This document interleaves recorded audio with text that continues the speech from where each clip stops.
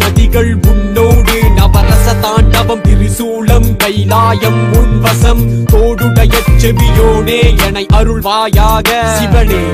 அனைவருக்கும் வணக்கம். இன்னைக்கு நம்ம பார்க்க இருக்குது தமிழரை ராமனுடைய வம்சாவளிகள் அப்படின்ற ஒரு சில அரசியல்வாதிகள் சொல்றாங்க. அது உண்மைதானா? இந்த இந்து அப்படின்ற தேசத்துக்கு இந்திரன் ஆண்டனால இது இந்து அப்படின்னு அறியப்பட்டுச்சு. அந்த வகையில் நம்ம எல்லாமே இந்துக்கள். குலசாமி வழிபாடு உடையவர்கள் தான் நம்ம எல்லாமே. நம்ம தமிழ்நாட்டில் நம்மளுடைய மரபுச்சொலை வச்சே நம்மளுடைய வரலாற்றை நம்ம மீட்டெடுக்கலாம். ராவணன் ஒரு அரக்க குல வேந்தன் அண்ணன் குபேந்திரன். ராவணனுடைய தந்தைக்கு இரண்டு மனைவிகள். அதில் மற்றொரு மனைவிக்கு பிறந்தவர் தான் அந்த குபேந்திரன். அவர் வந்து எச்ச குலத்தின் அரசன். செல்வத்துக்கெல்லாம் அதிபதி அவர் தான் இந்த ராவணன் அப்படின்றவர் வந்து அரக்க குலத்தை சேர்ந்தவர். தமிழில் ஒரு சொல் உண்டு. ஏதாவது ஒரு செயலை தப்பை யாராவது செஞ்சா இது ரொம்ப அரக்கத்தனமான செயல் அப்படின்னு சொல்லுவாங்க. அரக்கத்தனத்தை திட்டுவாங்க. அரக்கர்களுடைய பொம்மைகளை வீட்டுக்கு வெளியில் வாசலை வைப்பாங்க. அரக்கர்கள் என்பது தமிழுடைய வம்சாவளி கிடையாது. பெரியவங்க ஏதாவது ஒரு செயல் செய்யும்போது இது அரக்கத்தனமான வேலை அப்படின்னு அந்த இனத்தையே திட்டுறாங்க. சரி ராவனுடைய அண்ணன் அண்ணனான எச்சரில் எச்சகுலத்தின் அரசன் அவர். யாராவது ஒருத்தன் ஏதாவது ஒரு செயலில் வந்து இழுக்காக செய்தான்னா பணம் ஒழுங்காக பண விஷயத்தில் நடக்கலைன்னா அவனை பார்த்து அவன் ஒரு எச்ச பையன் அப்படின்னு தமிழில் சொல்லுவாங்க. அது எச்சரில் தான் குறிக்குது. இந்த அடிப்படையில் செல்வம் அதிகமாக வச்சவன் தான் எந்த பணத்தையும் யாருக்கும் கொடுக்க மாட்டான். இந்த ரெண்டு வார்த்தையை வச்சு பார்க்கும்போது தமிழரோட மரபில் இவர்கள் அந்நியர்கள் தான். எச்சர்களும் ராவணனும். ஒரு காலத்தில் இந்த நிலத்தில் தமிழ் மொழி மட்டும்தான் பேசினாங்க. உலகத்தில் எல்லா மனுஷனும் தமிழர் தான் அப்படி பார்த்தீங்கன்னா நீங்கள் யாரையும் தமிழ்னு சொல்லிட்டு போகலாம் ஆனால் இந்த நிலத்துக்கு பாத்தியப்பட்டவர்கள் அப்படின்றது இந்திரனுடைய வம்சாவளிகள் தான் தமிழ் மொழியில் தமிழ் வழக்கத்தில் உள்ள சொற்களை நம்ம நல்லா ஒத்து பார்த்தா அது எவ்வளோ சத்தியமான சொல் அப்படின்னு உங்களுக்கு தெரியும். எல்லா மொழியிலையும் சன்செட் சன்ரைஸ் சான்ஸ்கிரிட்டில் போனால் வடநாட்டில் சூரிய உதயம் சூரிய அஸ்தமித்து விட்டது. இப்படி தான் சொல்லுவாங்க. ஆனால் உண்மையில் சூரியன் ரைஸ் ஆகிறதும் இல்லை சூரியன் செட் ஆகிறதும் இல்லை. உண்மையில் சூரியன் உதயமாவதும் இல்லை சூரியன் அஸ்தமனமாவதும் இல்லை. அது அங்கேயே தான் நிற்கிது அதனால தான் தமிழை மட்டும் பொழுது விடிஞ்சிருச்சு பொழுது சாஞ்சிருச்சு அப்படின்ட்டு சத்திய வார்த்தையை உதித்தான். தமிழுடைய சொல் எல்லாமே சத்தியங்கள் புதைந்தது. வரலாற்றை அப்படியே மீட்டெடுத்து விடலாம் தமிழருடைய வழக்கத்தில் உள்ள சொல்ல வச்சு. இந்திரனுடைய வம்சாவளி தான் இந்த நிலத்தில் வாழ்ந்தவங்க ஆண்டவங்க. அப்புறம் அந்த பிராமணர் வந்ததுக்கப்புறமாக அவனுடைய அவனோட ஆட்சியாக மாறுச்சு. அப்புறம் இந்த பிராமணர் என்ன பண்ணிட்டாருங்க? நம்மளுடைய இனத்தோடு அவங்க சேர்ந்துக்கிட்டாங்க. ஏன்னா இந்திரனுடைய நிலத்தை உங்க ஆள்றனால உங்களும் இந்துக்கள் அப்படின்னு சொல்லிக்கிட்டாங்க.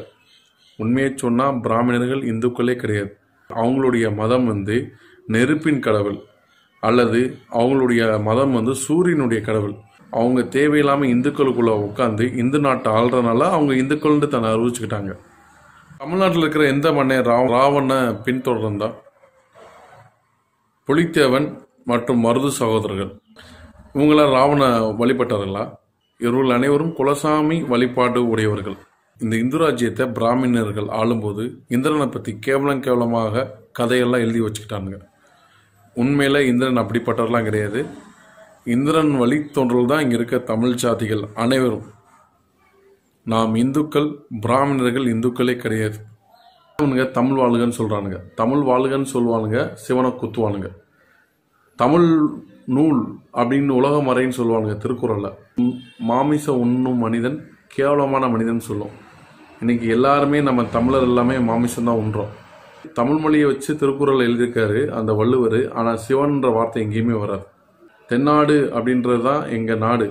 இங்கே சிவன் தான் இந்த சிவன் தான் அனைத்து மதங்களுக்கும் இறைவனாக இருக்கிறார். அப்படிப்பட்ட சிவனை முன்னிலைப்படுத்தாத எந்த நூலுமே தமிழ் நூலும் அல்ல.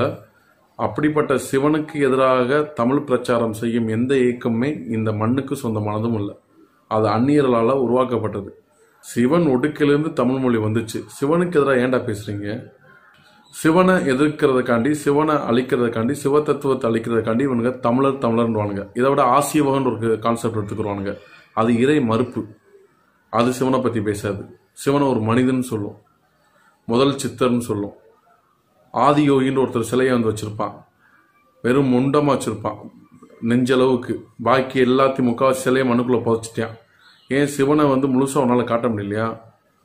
சிவனை வந்து முழுமையாக இல்லாமல் சிவனை புதைச்சி சிவ தத்துவத்தை புதைச்சாச்சுன்னு தான் அது சொல்லுது. அந்த சிலையேவும் சிவனை முக்காவாசி புதைச்சிட்டோம் தான் அது சொல்லுது. லிங்கத்துக்கெல்லாம் அளவு இருக்குது. ஒரு குறிப்பிட்ட அளவு தான் ஒரு மண்ணிலேருந்து ஒரு ரெண்டு அடி உயரம் தான் லிங்கம். அதுக்கு மேலே உயரமாக இருக்கிறதெல்லாம் லிங்கம் கிடையாது. அது சிவனும் கிடையாது. அதெல்லாம் தெரிஞ்சுக்குங்க. இந்த சிவ தத்துவத்தை அழிக்கிறதுக்காண்டியே இவனுங்க தமிழ் பிரச்சாரத்தை பண்ணிகிட்டு இருக்கானுங்க. சிவன் உடுக்கையிலிருந்து வந்த தமிழ் மொழி அது என் இனத்தை பாதுகாக்க தான் இருக்குது. என் ரத்தம் எதுவோ அதுதான் என் இனம். நாங்கள் இந்திரனோட வம்சாவளிகள் இந்துக்கள். இதான் என் ரத்தம். இந்த ரத்தத்தை பாதுகாக்கிறதுக்கு தான் இந்த மொழி எனக்கு இருக்குது. சிவன் மொழியை எந்த மனுஷனும் பாதுகாக்க முடியாது தமிழ் மொழியை. அது இறைவனாலே பாதுகாக்கப்படுது. ஏன்னா நாளைக்கு மொழி ரோபோட் கூட தமிழ் மொழி பேசும். உடனே நீங்கள் ரோபோட்டை தமிழன்றீங்களா இல்லை ஊமையை ஒருத்தன் பிறப்பான் தமிழனுக்கு தமிழ்நாட்டில். அவன் வந்து தமிழர் இல்லைன்றீங்களா எவனாவது தமிழில் பற்றி பேசுகிறதா சிவனோட நிலைப்பாடு என்னன்னு சொல்லிட்டு பேசுங்க. சிவன் தான் தமிழ் மொழி உங்களுக்கு கொடுத்துருக்காரு. அப்போ சிவனை பற்றி ஓ நிலைப்பாடு என்னன்னு முதல் சொல்லிட்டு அடுத்து தமிழரை பற்றி நீ பேசு. நன்றி. நான் மீண்டும் வேற ஒரு கனலில் சந்திக்கிறேன். இனம் கொண்ட தமிழ் மகன் இசைப்படையுடன் நடைபோடும் இவன். இது என் மனதில் நீ நின்று அருள்வாயாக. சிவனே.